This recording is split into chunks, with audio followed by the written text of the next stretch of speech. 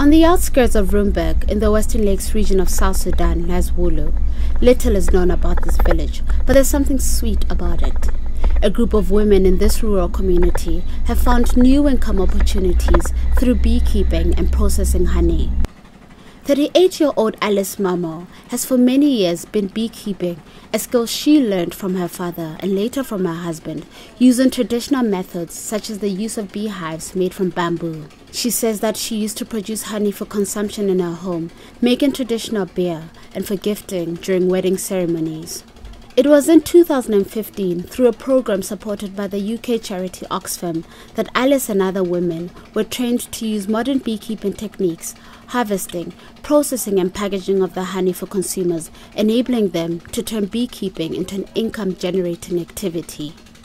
There are similar programs supported by the United Nations Food and Agriculture Organization. Beekeeping has afforded women like Alice independence. and sometimes the bidor are talking about midor kafiri borlete aw yi kama mnyaka ni na kano ni jigini ni mata yi kama mnyaka yi kama ya skeri lota ni mata ne ka kwata izata yilwa ne mani bina kama ni de ida ba chef dom ne matini kide duga honge amani to wale mara wai ti ja honge dati mo bagi ni ne bimba kwinle ya mi magwa ngwi peli ka kora ka mi baite tucked away some 25 kilometers away from Rumbek, a journey that takes nearly two hours by car due to poor road conditions. The beekeeping communities in Wulu sell their honey on the side of the road to motorists passing by.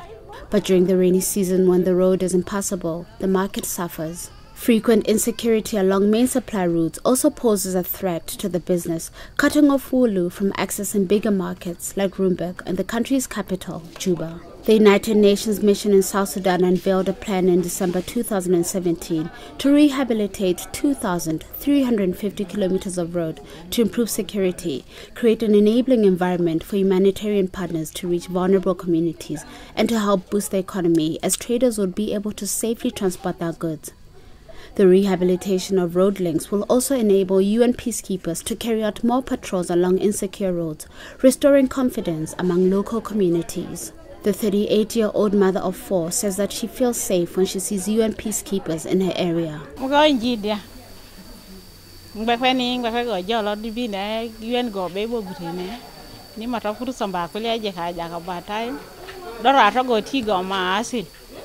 With a promising market to turn beekeeping into a viable business, residents of Wulu, a primarily agriculturist community, see that there's an urgency to eliminate conflict between themselves and cattle keepers who migrate to the area with their livestock. Beekeepers have raised concerns about cattle keepers vandalizing their beehives when they reach their communities during the seasonal migration period. Another concern is that the smell of cows forces bees to flee the hives. We need a peace dialogue so that people move to the community and uh, devise uh, the group so that those who always pull down the behaviors should stop that so that the life continue onwards. There's hope that peace and normalcy will return to South Sudan so that untapped markets like beekeeping and processing of honey can reach their full potential, enabling beekeeping communities like Wulu to have prosperous lives and enjoy the sweet rewards.